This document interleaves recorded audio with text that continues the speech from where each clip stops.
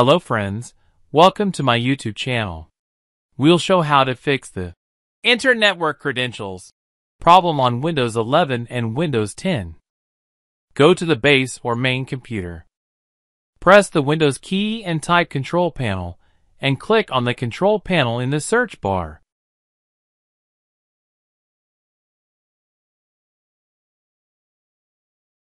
Select Network and Internet and press click.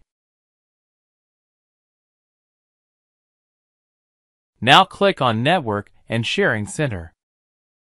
Left side option click on Change Advanced Sharing Settings. Go to All Network option.